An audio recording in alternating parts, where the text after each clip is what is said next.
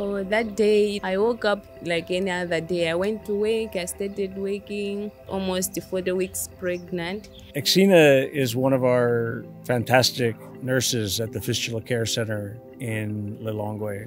She had been taking care of our patients. We just got to chatting, seeing how she felt. I, I could not even feel anything, but Dr. Jeff said that you look so weak.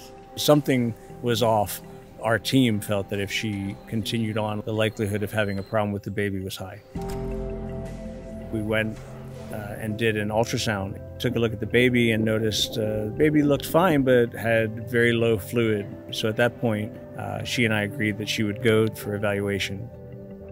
They called us and told us about her case and that she obviously needed high surveillance. In every one of our 1,000 live births, you have about 29 that will not make it. This is not normal.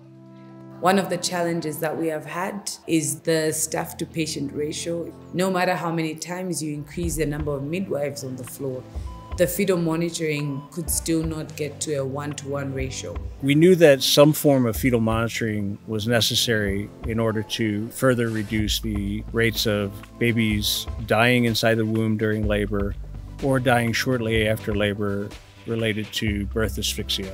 And this is where we came into partnership with PeriGen to implement the PeriWatch program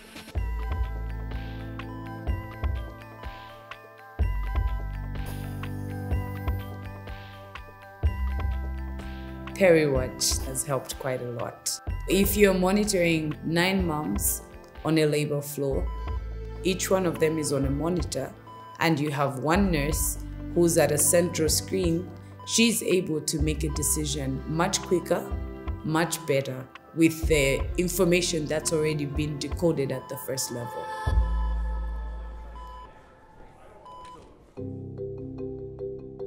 The day that Exina was referred, you can imagine she was anxious, but we were able to calm her down and we put her on fetal monitoring.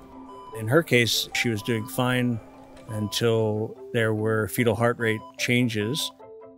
That was when we took her in and did a C section. We were able to act immediately and very rapidly. And this was a result of monitoring her.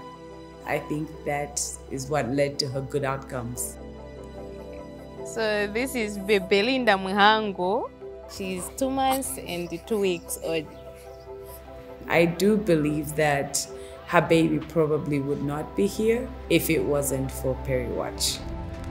Once we instituted the PeriWatch system, we saw an 80% reduction in stillbirths and early neonatal deaths. It has a, a great impact on the lives of people here. Our pregnant women can be saved. Feel so excited that I've created a tiny living thing in my life. Somebody who can make me happy.